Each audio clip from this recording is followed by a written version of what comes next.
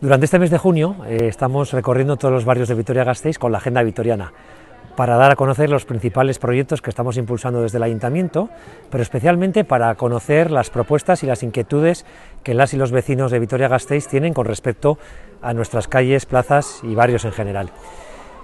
La verdad es que la experiencia el año pasado fue muy positiva y este año también lo está siendo. Hoy, de hecho, hemos estado aquí en el barrio nuevo de Goicolarra, donde hemos recibido cantidad de aportaciones de vecinos y vecinas que están eh, trabajando por hacer un barrio y una ciudad mejor.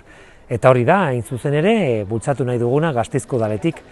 Iria denon artean egin behar dugu, eta beraz denon ekarpenak eh, ongietorriak dira beti, eta gaztizko agenda ere bide oso eraginkorra da horrelako ekarpena jasotzeko.